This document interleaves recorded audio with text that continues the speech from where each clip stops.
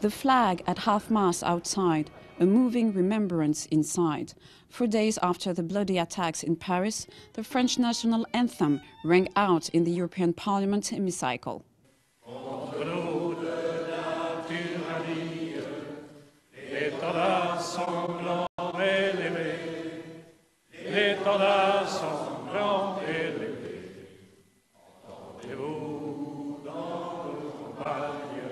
Les attentats de Paris étaient une attaque contre notre liberté, une attaque contre nos valeurs européennes et notre mode de vie. Almost all MEPs were present.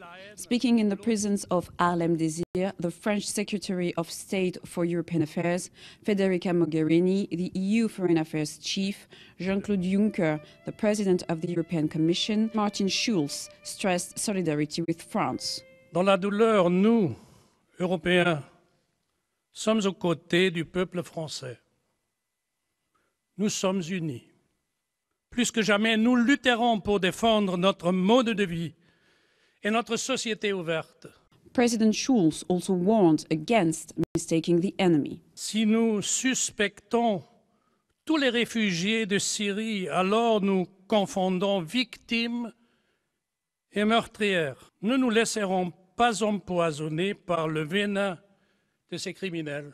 Four days on from the attacks in Paris, MEPs from all political flanks of the Brussels hemicycle remain united. It remains to be seen whether such solidarity will be seen in the Strasbourg plenary session next week. It seems to be coming.